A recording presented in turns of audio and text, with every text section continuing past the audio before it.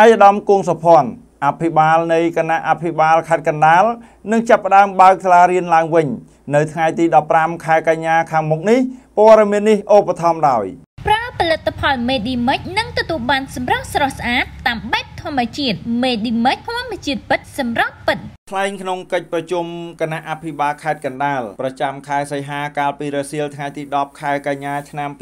2021តាមប្រព័ន្ធអនឡាញជាមួយលោកលោកស្រីអភិបាលរងខេត្តមន្ទីរជុំវិញខេត្តនិងមន្ត្រីពាក់ព័ន្ធលោកគង់សុភ័ណ្ឌអភិបាលនៃគណៈអភិបាលខេត្តកណ្ដាលបានសម្រេចបើកសាលារៀនមួយចំនួនឡើងវិញនៅថ្ងៃទី15ខែកញ្ញាខាងមុខនេះលោកអភិបាលបានបញ្ជាក់ថាការបើកសាលារៀនឡើងវិញនេះគឺធ្វើឡើងបន្ទាប់ពីមន្ត្រីជំនាញអាជ្ញាធរមូលដ្ឋានគ្រប់ថ្នាក់ព្រមទាំងមេដាបេដាសិស្សនិងលោកគ្រូអ្នកគ្រូបានប្រជុំពិភាក្សាគ្នានិងចុះវាយតម្លៃផ្ទាល់តាមគោលដៅជាច្រើនលើកច្រើនសារទើបក្រុមការងារមានលទ្ធភាពគ្រប់គ្រងក្នុងការជ្រើសរើសយកតំបន់ដែលមានហានិភ័យទាបពីការឆ្លងរាលដាលនៃជំងឺ Covid-19 ទាំង11ក្រុងស្រុកដើម្បីបើកសាលារៀនឡើងវិញសម្ដៅពង្រឹងសមត្ថភាពរបស់សិស្សានុសិស្សដែលមិនបានរៀនផ្ទាល់នៅសាលារៀនអស់រយៈពេលជាង2ឆ្នាំនេះកិច្ចប្រជុំនេះដែរលោកអភិបាលខេត្តកណ្ដាលបានស្នើឲ្យអាជ្ញាធរក្រុងស្រុកនិងមន្ត្រីពាក់ព័ន្ធទាំងអស់